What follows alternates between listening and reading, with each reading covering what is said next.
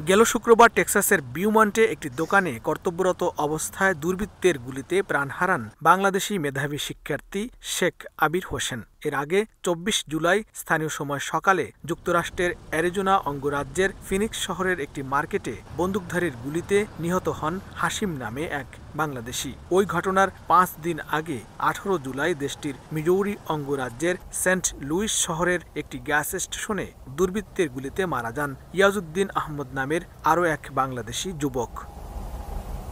এছাড়াও চলতি বছর জানুয়ারিতে ম্যাসাচুসেটস অঙ্গরাজ্যের পুলিশের গুলিতে প্রাণ হারান বাংলাদেশি তরুণ সাইদ ফয়সাল। চলতি বছরের সাত ডিসেম্বর পর্যন্ত মার্কিন যুক্তরাষ্ট্রে বন্দুক সহিংসতায় অন্তত বিয়াল্লিশ হাজার চারশো আটানব্বই জন নিহত হয়েছেন। দেশটিতে প্রতিদিন গুলিতে গড়ে প্রাণ হারিয়েছেন প্রায় একশো বিশ জন। এর মধ্যে বাদ যাচ্ছে না বাংলাদেশিরাও। এতে উৎকণ্ঠায় রয়েছেন প্রবাসীরা। একের পর এক বাংলাদেশি নিহতের ঘটনায় চরম আতঙ্ক আর নিরাপত্তাহীনতায় রয়েছেন তারা।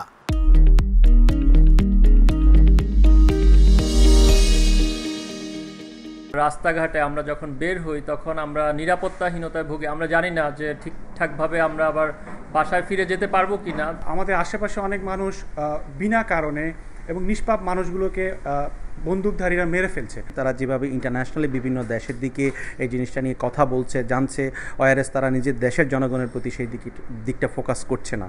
সো আমাদের আহ্বান থাকবে যে এই যে মানুষজন মারা যাচ্ছে প্রতিনিয়ত গান গান ফায়ারে সো এই জিনিসটা যাতে যুক্তরাষ্ট্রের দিকে ফোকাস করে। বিশ্লেষকরা বলছেন, মানবাধিকার সহ নানা ইস্যুতে বিশ্বের বিভিন্ন দেশে খবরদারি করা যুক্তরাষ্ট্রেই নেই, সাধারণ মানুষের কোনো নিরাপত্তা। প্রায় প্রতিদিনই দেশটির কোথাও না কোথাও ঘটছে বন্দুক সহিংসতা। রাশিয়া ইউক্রেন যুদ্ধ এবং ইসরায়েল গাজা সংঘাত সহ বিশ্বের যে কোনো ক্ষেত্রে সোচ্চার হলেও নিজ দেশের বন্দুক হামলা ঠেকাতে কার্যকর তেমন কোনো পদক্ষেপ নিতে পারেনি মার্কিন সরকার। ফলে চরম আতঙ্কে দিন পার করছেন দেশটির সাধারণ নাগরিকরা। লস্কর আল মামুন সময় সংবাদ, যুক্তরাষ্ট্র।